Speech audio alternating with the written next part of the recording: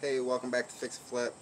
Um, this is a 2002 3.2 liter. Just thought I'd show you guys if you're looking for firing order and if you've got a bad O2 sensor, what bank is bank 1 and bank 2. So the firing order is pretty easy if you're standing in front of the car.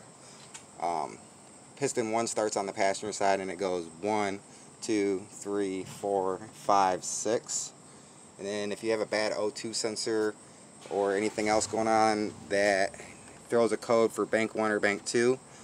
Passenger side when you're standing in front is bank 1 and then the driver side is bank 2. So if you have a bad you know O2 sensor bank 2 you know what side where to start at. Don't forget to hit the like and subscribe button. Uh, you never know what you're going to see here on Fix and Flip. Um, I'm pretty sure that this motor the firing order I'm for sure is the same on 02 and 03 but I'm pretty sure it's the same for any 3.2 liter in any year Cadillac that you're working on.